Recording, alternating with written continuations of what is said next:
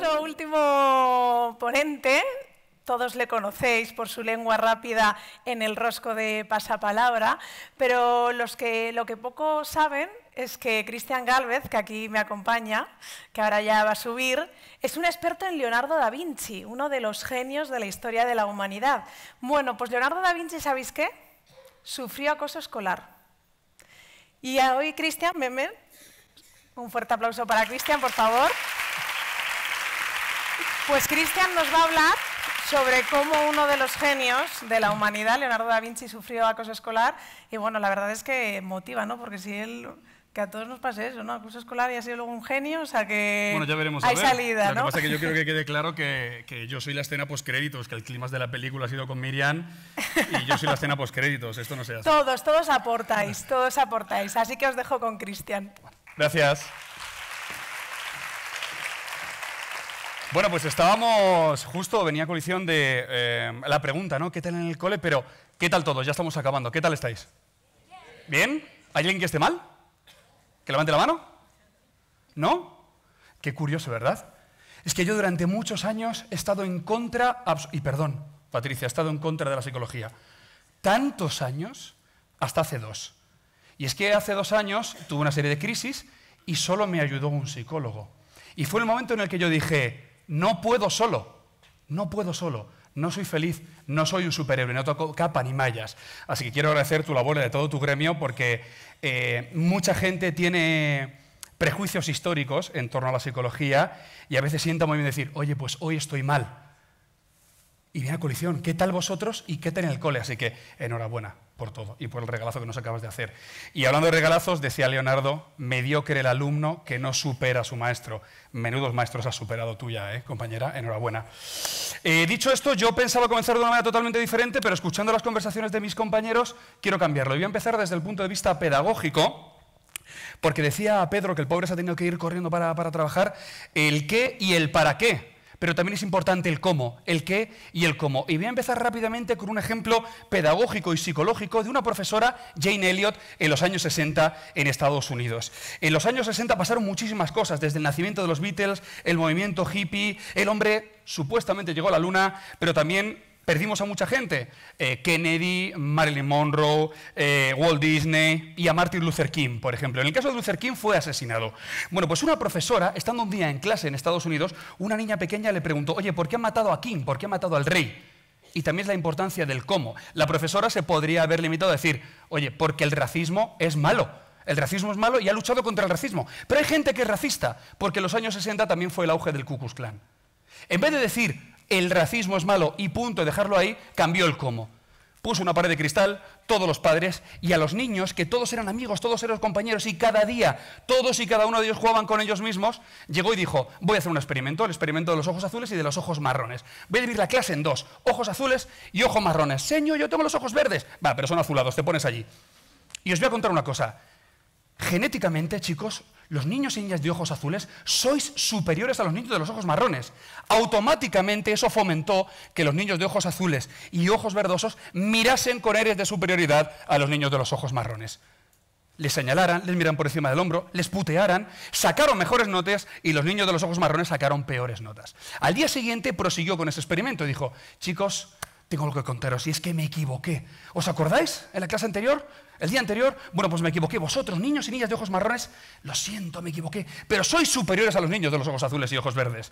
Directamente fueron los niños de los ojos marrones, que al día anterior habían sufrido bullying, los que miraron con indiferencia y con superioridad a los compañeros que estaban al otro lado. Sacaron mejores notas y ellos, que en la jornada anterior habían sacado eh, mejores notas, fracasaron en esos exámenes. Al tercer día vino Jane Elliot y dijo, tengo que pediros perdón a todos. Ninguno de vosotros sois superiores, sois todos iguales. En ese momento, los niños y niñas de ojos marrones y los niños y niñas de ojos azules verdosos se fundieron un abrazo. Años después, Jane Elliot se dio cuenta de que el, el racismo había sido erradicado absolutamente de todos aquellos niños. ¿no?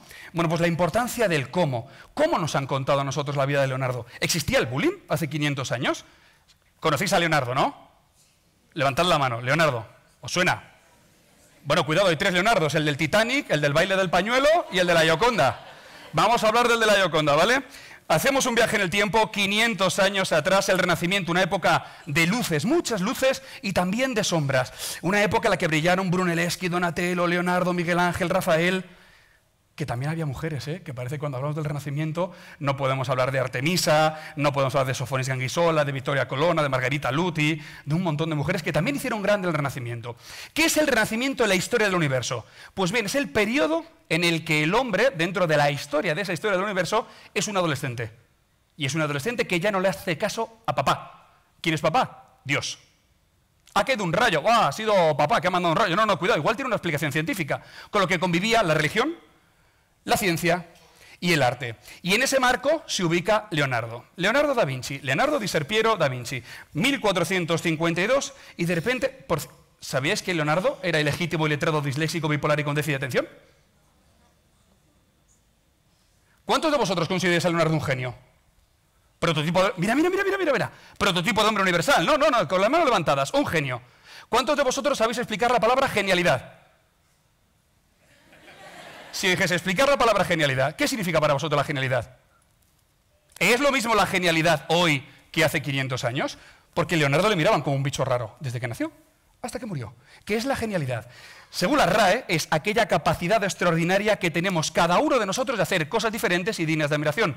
Todos sois en potencia genios. Y si nos están viendo a través de las cámaras, los pequeños también. Esa es la genialidad. Pero estamos hablando de una persona que fue ilegítima, iletrada, disléxica, bipolar y con déficit de atención. Ilegítima. Leonardo nació fuera del matrimonio. Su padre, Serpiero, notario de Florencia, estaba prometido con una chica y sin embargo tenía una esclava que era mona y dijo, pues una nochecita descarceó y de ese nació Leonardo.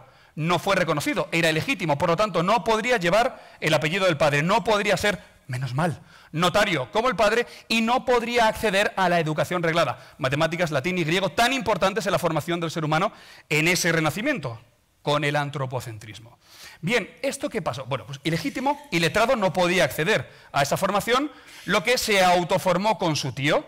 Debido a esa autoformación, podemos observar que era disléxico, bipolar en sus escritos y con déficit de atención. Nunca entregó los trabajos que le pidieron. Bueno, pues el chaval estuvo viviendo con la madre, disfrutando de la naturaleza, hasta que un día el padre le arrancó del seno de la madre.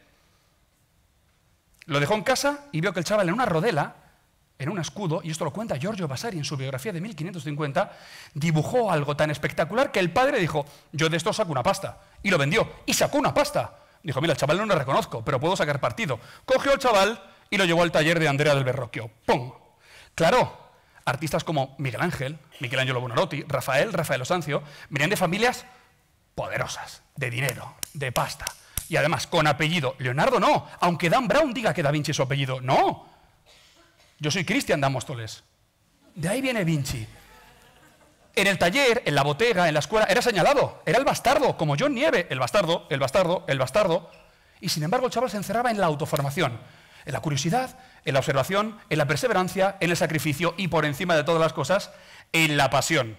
Bueno, pues cuando creció, además de esto de las peleas entre escuelas, entre talleres, entre botegas, fue acusado de una, una mano anónima, acusado de sodomía, de abusar de menores. Estuvo dos meses en la cárcel, vejado, interrogado, le dieron palizas y su padre, notario, vivía a 50 metros y no hizo nunca nada por él. Tan pronto como salió de la cárcel, montó su primer taller independiente. Y cuando el Papa pidió a Florencia, a los Medici, mandar a los mejores pintores para pintar lo que serían las paredes de la futura capilla sixtina, mandó a Ghirlandaio, a Perugino, a Rossini y a Botticelli, pero a Leonardo no, porque era bastardo. Y Leonardo hizo las maletas y se fue a Milán. Y se fue a Milán como constructor de ingenieros de, de ingeniería militar, no como pintor. Ahí le dejaron hacer cuatro o cinco cosas hasta que llegaron los franceses e invadieron Milán. Con lo que tuvo que hacer las maletas y se tuvo que ir. Y se fue a Venecia. Claro, la escuela veneciana del Renacimiento era algo superior, sobre todo en torno a los retratos, que la florentina dijo, bueno, voy a inventar instrumentos acuáticos para vencer a los turcos. Y dijeron, usted es un bicho raro. Y se marchó. Y se tuvo que ir a Roma. Y cuando llegó a Roma, claro, estaba el gran arquitecto papal Rafael, y cuando muere Rafael, Michelangelo Buonarroti, con lo que no pudo hacer absolutamente nada. No, saciar la curiosidad. Y entonces se puso a disecar cadáveres. y a estudiarlos y a analizarlos y a dibujar tratados de anatomía. Claro, en el Vaticano cuando le pillaron dijeron, o mira, o te piras o... Y se fue. ¿Y sabéis lo que tuvo que hacer al final Leonardo? Después de, de, toda esta persecución, desde niño hasta mayor, se fue a Francia. Los tres últimos años de su vida, donde San Francisco I le dijo, haz lo que te dé la gana. Los tres últimos años de su vida, fuga de cerebros. ¿Os suena? Pues espero que los peques, si nos están viendo a través de las pantallas, no les une nunca esto. Fuga de cerebros. Sin embargo, lo último que escribió Leonardo fue, pido perdón a Dios y a los hombres porque mi trabajo no tuvo la calidad que debería haber tenido y no he perdido contra la dificultad de los retos, sino que he perdido contra el tiempo. Bueno, pues hablaba de de que al final la genialidad es aquella capacidad que tenemos todos de hacer cosas diferentes y dignas de admiración. Los chavales tienen referentes, el mío es Leonardo, pero antes lo fue Superman o lo fue Spiderman, y cuando leemos los cómics y vemos las películas, al final vemos que con tanta, tanta presión, ¿dónde va Superman? A ver a su madre, al campo. ¿Dónde va Spiderman? A ver a su tía y a decir, no puedo. Yo en mi caso mi superhéroe fue mi psicólogo, pero no puedo y no pasa nada no pasa nada, porque los verdaderos superhéroes, insisto, no llevan ni mallas ni capas. Son aquellos que en los momentos de máxima dificultad dicen, no puedo hacerlo solo. ¿Hay alguien aquí en la sala ilegítimo, iletrado, disléxico, bipolar y con déficit de atención? ¿Sabéis por qué lo pregunto? Porque Leonardo al término de sus días murió triste. Y nosotros con 500 años de perspectiva le vemos como el genio, el prototipo de hombre universal. Y murió triste. Muy triste. Genio no lo sabemos, pero muy triste. Entonces, si hay alguien aquí en la sala ilegítimo, letrado, disléxico, bipolar y con déficit de atención, que no se preocupe, que está en las mismas condiciones que Leonardo para llegar a convertirse en un genio. Si no hay nadie, no hace falta que nadie levante la mano, está en mejores condiciones que Leonardo para llegar a ser ese genio que todos podemos ser, mediante sonrisas además. Y lo más importante, tenemos 500 años de ventaja para ser felices. Por lo tanto, comunicación. Leonardo no tuvo un padre que le escuchara ni un padre que le preguntara. Leonardo nunca comunicó qué problemas tenía. Y sin embargo, hoy en día le consideramos el mayor de los genios.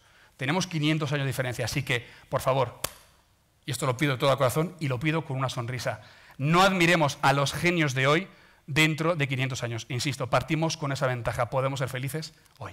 Muchas gracias.